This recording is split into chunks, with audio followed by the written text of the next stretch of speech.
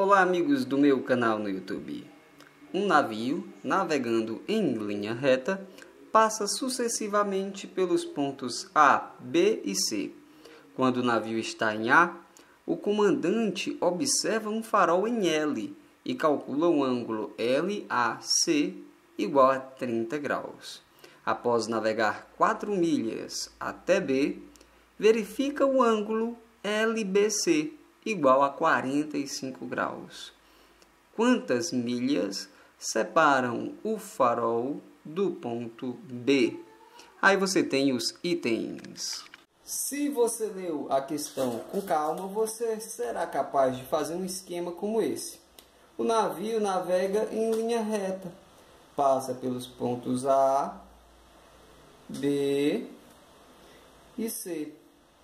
Quando ele está em A, observa em L um farol. E o comandante mede o ângulo LAC, obtendo quanto em 30 graus. Então você pode ligar L com A e escrever que aqui é um ângulo de 30 graus. Quando ele está em B, ele mede o ângulo LBC e observa que é um ângulo de 45 graus. Detalhe, de A para B, ele anda quantas milhas? 4 milhas. Desejamos determinar a distância de L até B. Chamaremos, portanto, essa distância de x. Nesse problema, eu vou utilizar o seno de 45 graus. Vou já explicar como, tá? E o cosseno de 30 graus. Não, na verdade eu vou utilizar a tangente de 30 graus. Tangente de 30 graus. Mas já que a gente escreveu, vamos colocar aqui que o cosseno de 30 graus é raiz de 3 sobre 2. A tangente de 30 graus é quanto? Raiz de 3 sobre 3. Outra forma que você tem para escrever a tangente de 30 graus é 1 sobre raiz de 3. Tá ok? O seno de 45 graus, sabemos da tabela que é raiz de 2 sobre 2. Outra forma, sem racionalizar, é escrever esse valor como 1 sobre raiz de 2, tá certo? Bom, como que eu vou utilizar o seno de 45 graus? Vou explicar para você. Se eu ligar L até a reta que passa por A e B, formando um ângulo de 90 graus, poderia observar um triângulozinho aqui pequeno, triângulo retângulo, e um maior também triângulo retângulo. Como nesse triângulo pequeno temos aqui um ângulo de 45 graus, esse outro também deve C, um ângulo de 45 graus. A soma deles dois tem que dar 90, né? eles devem ser complementares, então 45 graus. Se esse pedacinho aqui, ó, daqui para cá medir y, daqui para cá também vai medir y, pois temos um triângulo isósceles. Como é que eu sei? Ora, se ele tem dois ângulos congruentes, dos dois lados correspondentes também são congruentes, têm o mesmo comprimento. Certo. Então, vou começar utilizando o seno de 45, como eu falei para você. Seno de 45 graus, nesse triângulo pequeno. Pega esse 45 graus aqui. É o cateto separado y sobre a hipotenusa que mede x. Desejamos determinar o valor de x. Isso vai ser igual a quanto? Seno de 45 graus, vou utilizar na forma 1 sobre raiz de 2. Esse x está dividindo, passa multiplicando esse 1. Então, eu posso escrever que y é igual a x sobre raiz de 2. Professor, por que, que o senhor não preferiu a forma racionalizada? Porque no caso dessa questão, você verá que será mais conveniente trabalhar assim. Aguarde.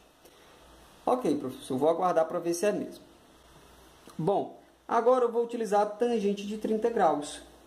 Por que, professor? Ora, no triângulo maior, triângulo retângulo, eu vou poder descobrir o valor de y se eu usar a tangente. Porque eu vou relacionar o cateto separado, que mede y, com o cateto colado, que mede y mais 4. Da tabela, sabemos que a tangente de 30 é raiz de 3 sobre 3. Mas eu também posso escrever, como eu escrevi aqui anteriormente, 1 sobre raiz de 3. Você verá que isso simplifica um pouco as contas. Então, vamos ter multiplicando em cruz raiz de 3 vezes y igual a 1 vezes esse denominador, ou seja, é só repetir um elemento neutro. Passando o y para o outro lado, ele vai subtraindo, teremos raiz de 3y menos y igual a 4. Todo número vezes 1 é ele mesmo, então posso colocar 1 aqui do lado do y multiplicando sem problema.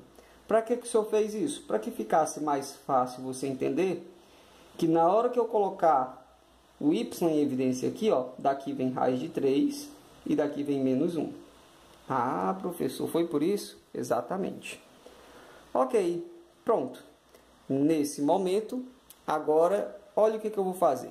No lugar do y, eu vou substituir, vou colocar x sobre raiz de 2. Esse cara que está multiplicando y vai passar dividindo 4. Então, vai ficar aqui no denominador. Raiz de 3 menos 1. E esse raiz de 2? Ele está aqui dividindo x, passa para o outro lado, multiplicando 4. Então, x será igual a quanto? 4 raiz de 2 sobre raiz de 3 menos 1. Se você olhar para os itens, eles estão na forma racionalizada. Então, vamos racionalizar nesse momento. Multiplicarei em cima e embaixo por raiz de 3 menos 1. Menos? Não, mais 1. Que a gente tem que multiplicar pelo conjugado do denominador, né? O denominador está com menos, a gente multiplica aqui com mais. Como que vai ficar? Ficará da seguinte maneira. Bom, em cima eu vou poder distribuir esse raiz de 2. Raiz de 2 com raiz de 3 vai dar raiz de 6.